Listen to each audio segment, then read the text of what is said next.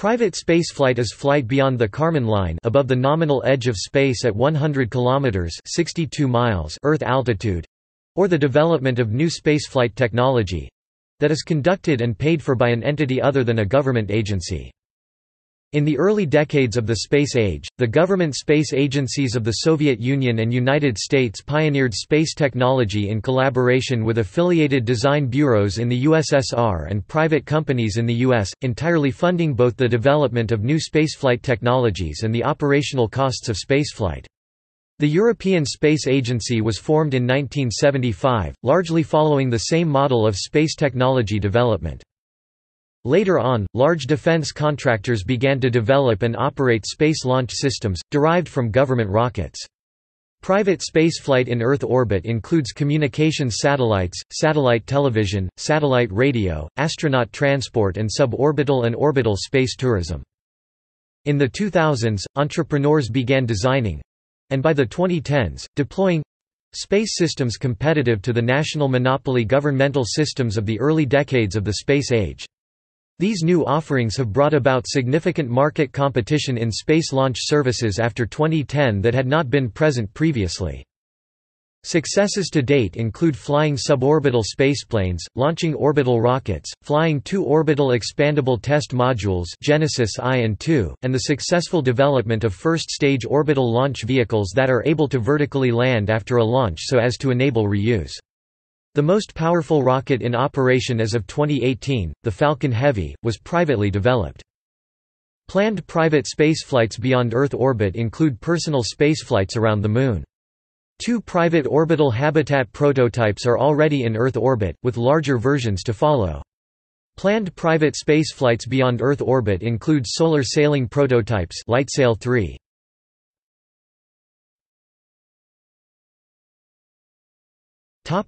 History of commercial space transportation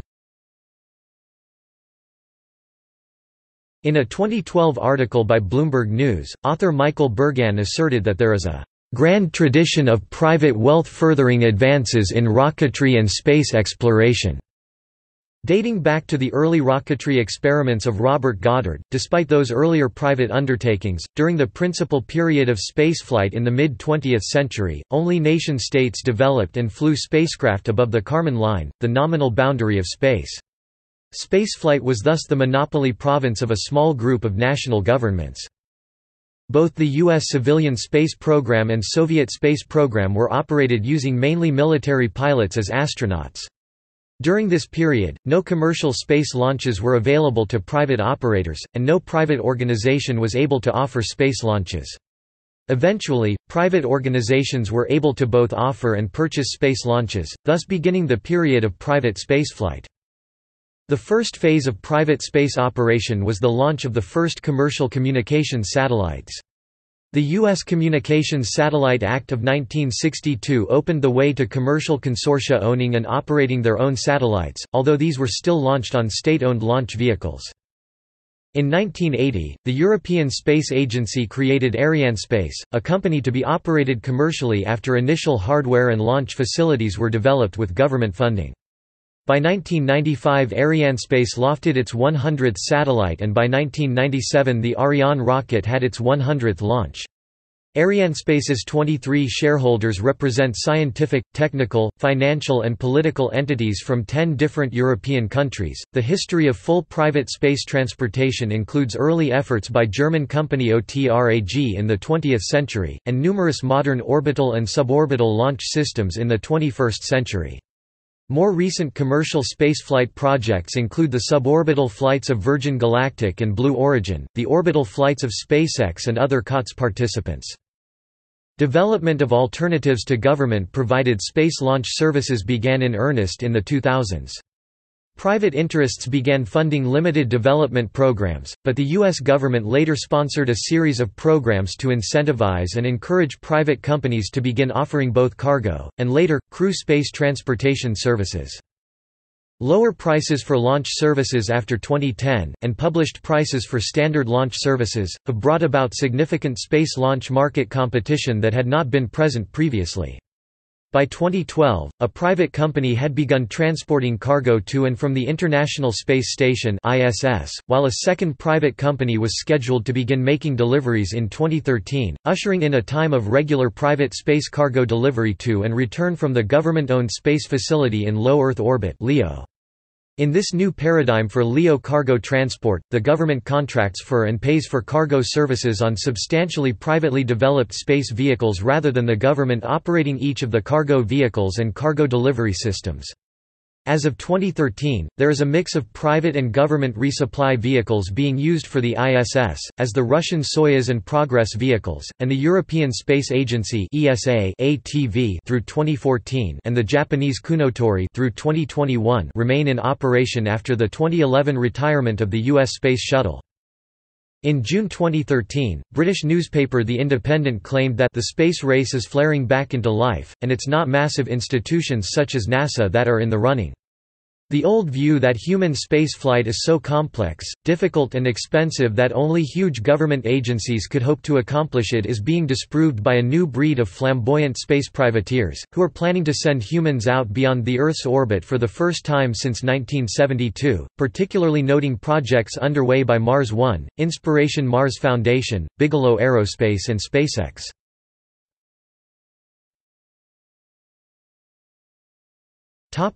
American deregulation. The Commercial Space Launch Act of 1984 required encouragement of commercial space ventures, adding a new clause to NASA's mission statement, c commercial use of space, Congress declares that the general welfare of the United States requires that the administration seek and encourage, to the maximum extent possible, the fullest commercial use of space, yet one of NASA's early actions was to effectively ban private space flight through a mountain of red tape. From the beginning, though, this met significant opposition not only by the private sector, but in Congress. In 1962, Congress passed its first law pushing back the prohibition on private involvement in space, the Communications Satellite Act of 1962. While largely focusing on the satellites of its namesake, this was described by both the law's opponents and advocates of private space, as the first step on the road to privatization. While launch vehicles were originally bought from private contractors, from the beginning of the shuttle program until the Challenger disaster in 1986, NASA attempted to position its shuttle as the sole legal space launch option. But with the mid-launch explosion, loss of Challenger came the suspension of the government-operated shuttle flights, allowing the formation of a commercial launch industry. On the 30th of October 1984, U.S. President Ronald Reagan signed into law the Commercial Space Launch Act. This enabled an American industry of private operators of expendable launch systems. Prior to the signing of this law, all commercial satellite launches in the United States were restricted by federal regulation to NASA's Space Shuttle. On 5 November 1990, United States President George H. W. Bush signed into law the Launch Services Purchase Act. The Act, in a complete reversal of the earlier Space Shuttle monopoly, ordered NASA to purchase launch services for its primary payloads from commercial providers whenever such services are required in the course of its activities. In 1996 the United States government selected Lockheed Martin and Boeing to each develop Evolved Expendable Launch Vehicles to compete for launch contracts and provide assured access to space. The government's acquisition strategy relied on the strong commercial viability of both vehicles to lower unit costs. This anticipated market demand did not materialize, but both the Delta IV and Atlas V EELVs remain in active service. Commercial launches outnumbered government launches at the Eastern Range in 1997. The Commercial Space Act was passed in 1998 and implements many of the provisions of the Launch Services Purchase Act of 1990. Nonetheless, until 2004, NASA kept private spaceflight effectively illegal. But that year, the Commercial Space Launch Amendments Act of 2004 required that NASA and the Federal Aviation Administration legalize private spaceflight. The 2004 Act also specified a «learning period» which restricted the ability of the FAA to enact regulations regarding the safety of people who might actually fly on commercial spacecraft through 2012, ostensibly because spaceflight participants would share the risk of flight through informed consent procedures of human spaceflight risks, while requiring the launch provider to be legally liable for potential losses to uninvolved persons and structures. To the end of 2014, commercial passenger flights in space has remained effectively illegal, as the FAA has refused to give a commercial operator operator's license to any private space company. The United States updated U.S. commercial space legislation with the passage of the Space Act of 2015 in November 2015. The full name of the act is Spurring Private Aerospace Competitiveness and Entrepreneurship Act of 2015. The update U.S. law explicitly allows U.S. citizens to engage in the commercial exploration and exploitation of space resources including water and minerals. The right does not extend to biological life, so anything that is alive may not be exploited commercially. The Act further asserts that the United States does not by this act assert sovereignty, or sovereign or exclusive rights or jurisdiction over, or the ownership of, any celestial body."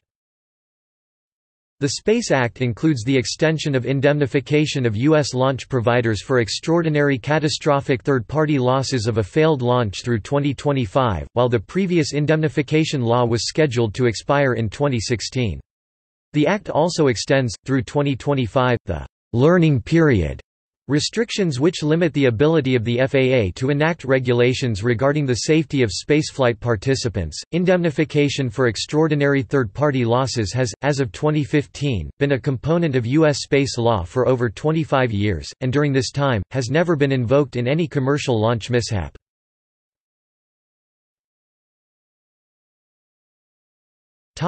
Russian privatization In 1992, RESURS 500 capsule-containing gifts was launched from Plesetsk Cosmodrome in what was a private spaceflight called Europe-America 500. The flight was conceived by the Russian Foundation for Social Inventions and TSSKB Progress, a Russian rocket-building company, to increase trade between Russia and USA, and promote use of technology once reserved only for military forces. Money for the launch was raised from a collection of Russian companies. The capsule parachuted into the Pacific Ocean and was brought to Seattle by a Russian missile tracking ship. The Russian government sold part of its stake in RSC Energia to private investors in 1994. Energia together with Khrunichev constituted most of the Russian manned space program. In 1997, the Russian government sold off enough of its share to lose the majority position.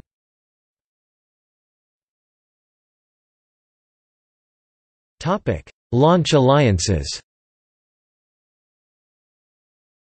Since 1995 Khrunichev's Proton rocket is marketed through International Launch Services while the Soyuz rocket is marketed via Starsem.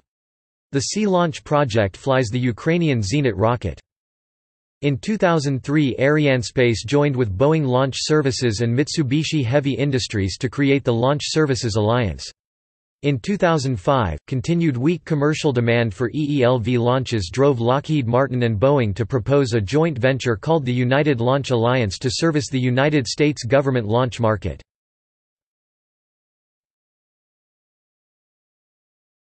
Spaceflight privatization Since the 1980s, various private initiatives have started up to pursue the private use of space. The first privately funded rocket to achieve spaceflight was Conestoga I, which was launched by Space Services Inc. on a suborbital flight to 309 km (192 miles) altitude on the 9th of September 1982. In the early 2000s, several public-private partnerships were established in the United States to take advantage of entrepreneurial companies to accelerate spaceflight technology development and reduce the cost of access to space, both for cargo and passengers transport. In addition, several purely private initiatives have begun in the 2010s to develop various aspects of space technology such as reusable launch systems and private spaceflight endeavors to the inner solar system. On the 17th of December 2003, on the 100th anniversary of the Wright brothers' first powered flight of an aircraft, SpaceShipOne, an experimental spaceplane piloted by Brian Binnie, made its first rocket-powered flight, the first privately built craft to ever achieve supersonic flight. The next year, SpaceShipOne made three suborbital flights into space, becoming the first privately built and operated vehicle to achieve manned spaceflight. In 2006, NASA initiated a program to purchase commercial rides to carry cargo to the International Space Station, while funding a portion of the development of new technology in a public-private partnership, initially with $500 million of contracted development funds. On the 1st of February 2010, United States President Barack Obama proposed in a speech that NASA exit the business of flying astronauts from Earth to low Earth orbit, the locus of human spaceflight ever since the last lunar manned mission in 1972 and move it to private companies who contract with the government to provide cargo resupply services to the ISS. The proposal acted on the findings of the 2009 Augustine Commission and built on the success of the commercial resupply services that outsourced American cargo delivery to the International Space Station. In May 2015, the Japanese legislature is considering legislation to allow private company spaceflight initiatives in Japan. The development of commercial space transportation will need airspace integration and air traffic management adaptation.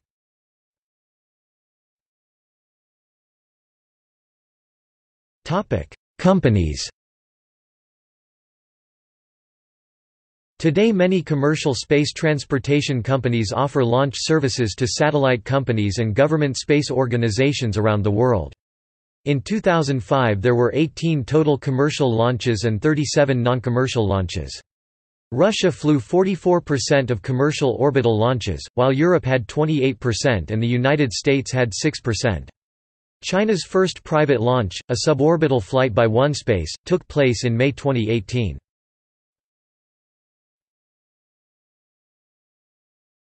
Topic: Funding. In recent years, the funding to support private spaceflight has begun to be raised from a larger pool of sources than the relatively more limited sources of the 1990s.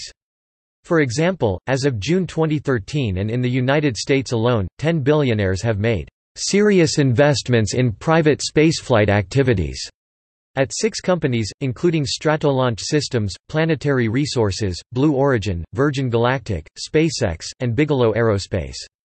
The ten investors are Paul Allen, Larry Page, Eric E. Schmidt, Ram Shriram, Charles Simonyi, Ross Perot Jr., Jeff Bezos, Richard Branson, Elon Musk, and Robert Bigelow. It is not yet clear to what extent these entrepreneurs see Legitimate business opportunity, for example, space tourism and other commercial activities in space, or are wealthy men seeking the exclusivity that space offers innovators and investors. These investments are a gamble and may or may not pay off.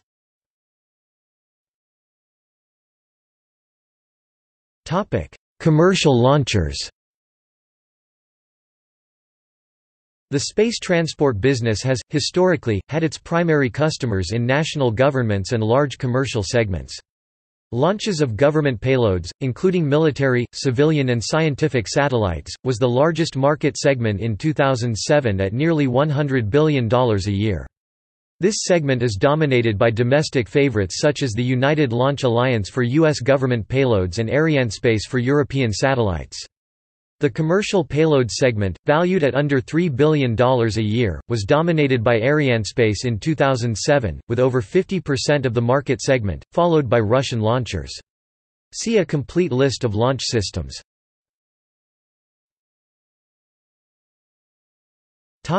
U.S. government commercial cargo services The U.S. government determined to begin a process to purchase orbital launch services for cargo deliveries to the International Space Station beginning in the mid-2000s, rather than operate the launch and delivery services as they had with the Space Shuttle, which was to retire in less than half a decade, and ultimately did retire in 2011. On 18 January 2006, NASA announced an opportunity for U.S. commercial providers to demonstrate orbital transportation services. As of 2008, NASA planned to spend $500 million through 2010 to finance development of private sector capability to transport payloads to the International Space Station ISS.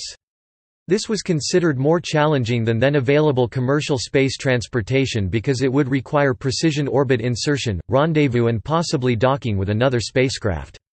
The commercial vendors competed in specific service areas. In August 2006, NASA announced that two relatively young aerospace companies, SpaceX and Rocketplane Kistler, had been awarded $278 million and $207 million, respectively, under the COTS program.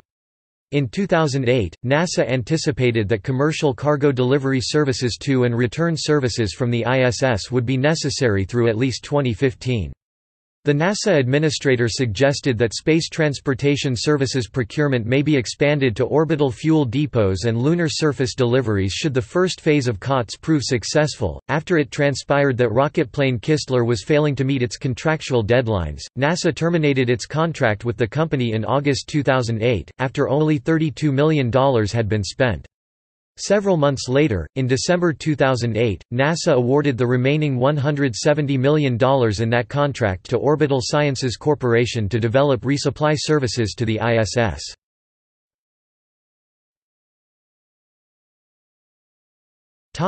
Emerging personal spaceflight Before 2004, the year it was legalized in the U.S., no privately operated manned spaceflight had ever occurred. The only private individuals to journey to space went as space tourists in the Space Shuttle or on Russian Soyuz flights to Mir or the International Space Station. All private individuals who flew to space before Dennis Tito's self-financed International Space Station visit in 2001 had been sponsored by their home governments or by private corporations. Those trips include U.S. Congressman Bill Nelson's January 1986 flight on the Space Shuttle Columbia and Japanese television reporter Toyohiro Akiyama's 1990 flight to the Mir space station. The Ansari X Prize was intended to stimulate private investment in the development of spaceflight technologies. The 21st of June 2004 test flight of SpaceShipOne, a contender for the X Prize, was the first human spaceflight in a privately developed and operated vehicle. On 27 September 2004, following the success of SpaceShipOne, Richard Branson, owner of Virgin and Burt Rutan, SpaceShipOne's designer, announced that Virgin Galactic had licensed the craft's technology, and were planning commercial space flights in 2.5 to 3 years. A fleet of five craft SpaceShipTwo, launched from the White Knight II carrier airplane were to be constructed, and flights would be offered at around $200,000 each, although Branson said he planned to use this money to make flights more affordable in the long term. A test flight of SpaceShipTwo crashed in October 2014. In December 2004, United States President George W. Bush signed into law the Commercial Space Launch Amendments Act. The Act resolved the regulatory ambiguity surrounding private spaceflights and is designed to promote the development of the emerging U.S. commercial human spaceflight industry. On 12 July 2006, Bigelow Aerospace launched the Genesis I, a subscale pathfinder of an orbital space station module. Genesis 2 was launched on 28 June 2007, and there are plans for additional prototypes to be launched in preparation for the production model BA-330 spacecraft. Zero to Infinity, a Spanish aerospace company, is developing a high-altitude balloon-based launch vehicle termed a Bloostar to launch small satellites to orbit for customers.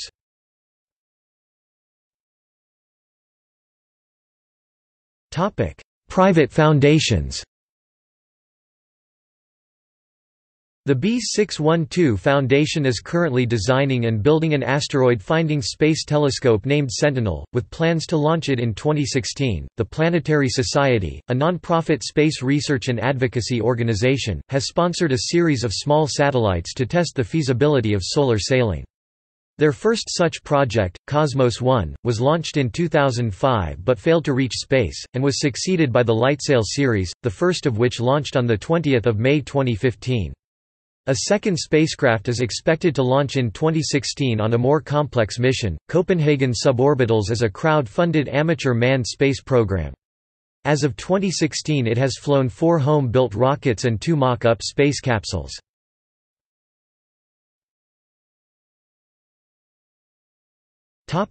Plans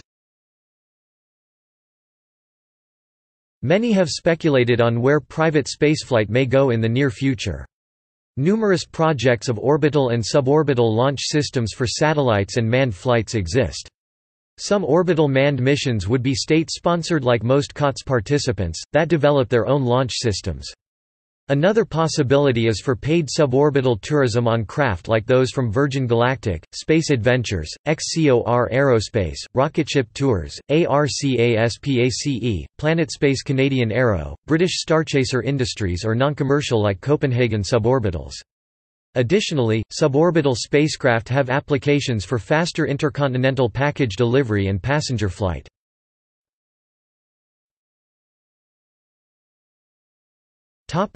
Private orbital spaceflight, space stations. SpaceX's Falcon 9 rocket, first launched in 2010 with no passengers, was designed to be subsequently human-rated. The Atlas V launch vehicle is also a contender for human rating. Plans and a full-scale prototype for the SpaceX Dragon, a capsule capable of carrying up to seven passengers, were announced in March 2006, and Dragon version 2 flight hardware was unveiled in May 2014.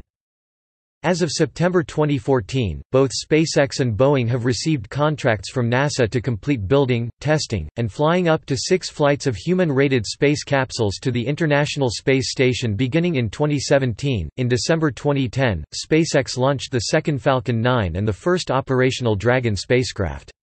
The mission was deemed fully successful, marking the first launch to space, atmospheric re-entry and recovery of a capsule by a private company. Subsequent COTS missions included increasingly complex orbital tasks, culminating in Dragon first docking to the ISS in 2012. Bigelow Aerospace develops BA-330 module based on the former NASA Transhab design intended to be used for activities like microgravity research, space manufacturing, and space tourism with modules serving as orbital hotels to promote private manned launch efforts, Bigelow offered the $50 million America's Space Prize for the first U.S.-based privately funded team to launch a manned reusable spacecraft to orbit on or before 10 January 2010, such feat is yet to be achieved as of December 2018. The British government partnered in 2015 with the ESA to promote a possibly commercial single-stage to orbit spaceplane concept called Skylon. This design was pioneered by the privately held Reaction Engines Limited, a company founded by Alan Bond after HOTOL was cancelled. As of 2012, private company NanoRacks provides commercial access to the U.S. National Laboratory space on the International Space Station (ISS). Science experiments can be conducted on a variety of standard rack-sized experimental platforms, with standard interfaces for power and data acquisition.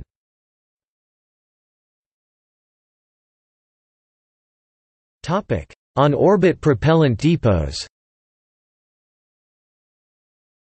In a presentation given 15 November 2005 to the 52nd Annual Conference of the American Astronautical Society, NASA Administrator Michael D. Griffin suggested that establishing an on-orbit propellant depot is "...exactly the type of enterprise which should be left to industry and to the marketplace."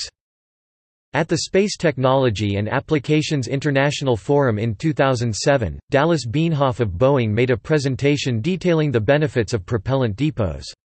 Shackleton Energy Company has established operational plans, an extensive teaming and industrial consortium for developing LEO propellant depots supplied by lunar polar-sourced water ice.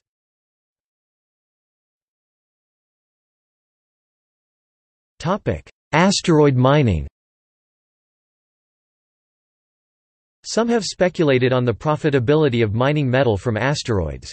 According to some estimates, a 1 km diameter asteroid would contain 30 million tons of nickel, 1.5 million tons of metal cobalt and 7,500 tons of platinum. The platinum alone would have a value of more than $150 billion at 2008 terrestrial prices.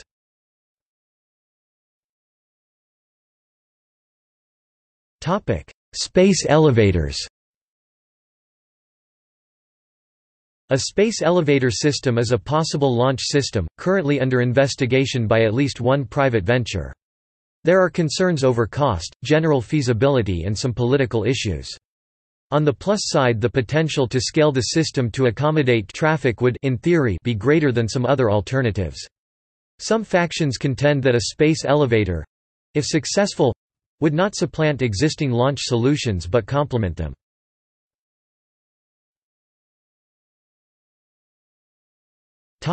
Venture capital investment. Since 2005, there has been $10 billion of private capital invested in the space sector, most of it in the United States which liberalized private space sector investment beginning in the 1980s, with additional legislative reforms in the 1990s to 2000s. From 2000 through the end of 2015, a total of $13.3 billion of investment finance has been invested in the space sector, with $2.9 billion of that being venture capital. In 2015 alone, venture capital firms invested $1.8 billion in private spaceflight companies, more than they had in the previous 15 years combined. As of October 2015, the largest and most active investors in space were Lux Capital, Bessemer Venture Partners, Khosla, Founders Fund, RRE Ventures, and Draper Fisher Jurvetson. Some investors see the traditional spaceflight industry as ripe for disruption, with a 100-fold improvement relatively straightforward and a thousand-fold improvement possible. Increasing interest by investors in economically driven spaceflight had begun to appear by 2016, and some space ventures have had to turn away investor funding.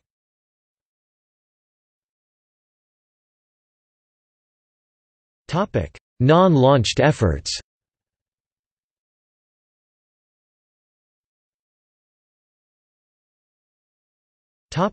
Failed spaceflight ventures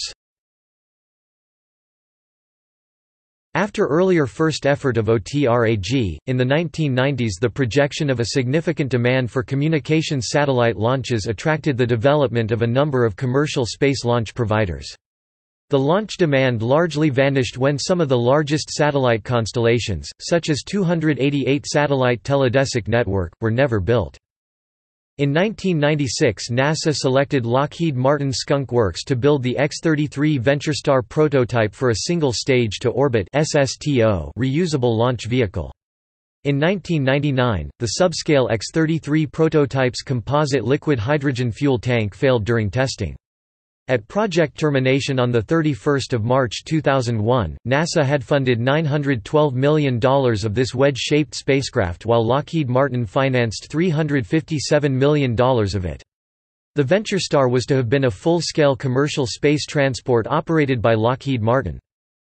In 1997 Beale Aerospace proposed the BA-2, a low-cost heavy-lift commercial launch vehicle. On 4 March 2000, the BA-2 project tested the largest liquid rocket engine built since the Saturn V. In October 2000, Beale Aerospace ceased operations citing a decision by NASA and the Department of Defense to commit themselves to the development of the competing government-financed EELV program. In 1998 Rotary Rocket proposed the Roton, a single stage-to-orbit SSTO, piloted vertical takeoff and landing VTOL space transport. A full-scale Roton atmospheric test vehicle flew three times in 1999. After spending tens of millions of dollars in development the Roton failed to secure launch contracts and Rotary Rocket ceased operations in 2001. On 28 September 2006, Jim Benson, SpaceDev founder, announced he was founding Benson Space Company with the intention of being first to market with the safest and lowest cost suborbital personal spaceflight launches, using the vertical takeoff and horizontal landing Dream Chaser vehicle based on the NASA HL-20 Personnel Launch System vehicle. Excalibur Almaz had plans in 2007 to launch a modernized TKS spacecraft for Almaz Space Station, for tourism and other uses. It was to feature the largest window ever on a spacecraft. Their equipment was never launched, and their hangar facility closed in 2016. It is to be converted into an educational exhibit. Escape Dynamics operated from 2010 to 2015, with the goal of making single stage to orbit spaceplanes. In December 2012, the Golden Spike Company announced plans to privately transport space exploration participants to the surface of the Moon and return, beginning as early as 2020, for $750 million per passenger. XCOR Aerospace planned to initiate a suborbital commercial spaceflight service with the Lynx rocketplane in 2016 2016 or 2017 at $95,000. First test flights to be conducted by 23 pilots from the AXE Apollo Space Academy, one of which is a Filipino named Chino Roque, were planned for 2015.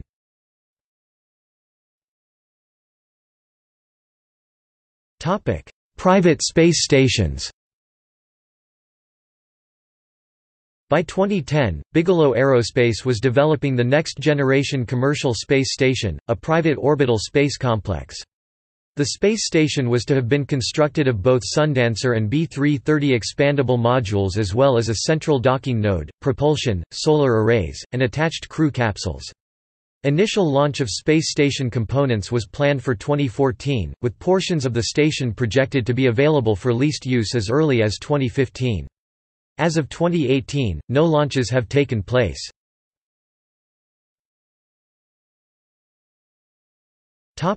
Lunar private ventures.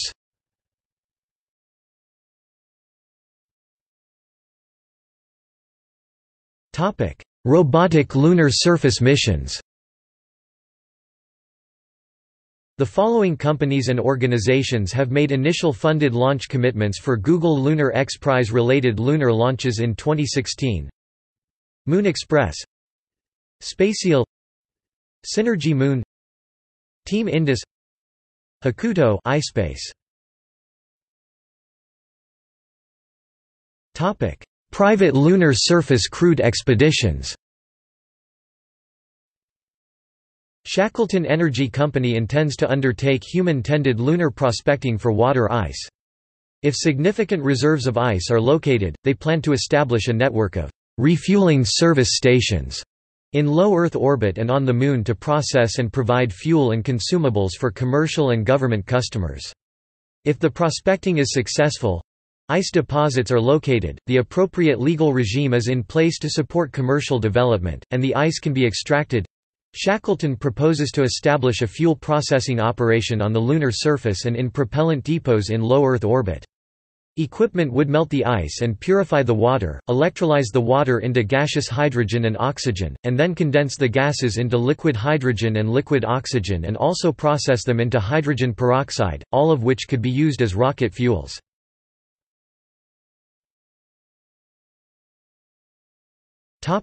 Mars Ventures In June 2012, private Dutch non-profit Mars One announced a private one-way no return human mission to Mars with the aim to establish a permanent human colony on Mars. The plan is to send a communication satellite and Pathfinder lander to the planet by 2016 and, after several stages, land four humans on the Martian surface for permanent settlement in 2023. A new set of four astronauts would then arrive every two years. Richard Branson, in his lifetime, is determined to be a part of starting a population on Mars. I think it's absolutely realistic. It will happen. I think over the next 20 years, we will take literally hundreds of thousands of people to space and that will give us the financial resources to do even bigger things. In February 2013, the U.S. nonprofit Inspiration Mars Foundation announced a plan to send a married couple on a 2018 mission to travel to Mars and back to Earth on a 501-day round trip, with no landing planned on Mars. The mission will take advantage of an infrequently occurring free return trajectory—a unique orbit opportunity which occurs only once every 15 years—and will allow the space capsule to use the smallest possible amount of fuel to get it to Mars and back to Earth. The two-person American crew, a man and a woman, will orbit around Mars at a distance of 100 miles 160 kilometers of the surface. If anything goes wrong, the spacecraft should make its own way back to Earth—but with no possibility of any shortcuts home.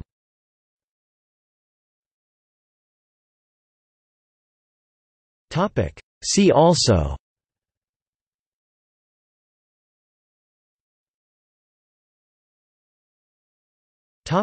Manned spacecraft Unmanned spacecraft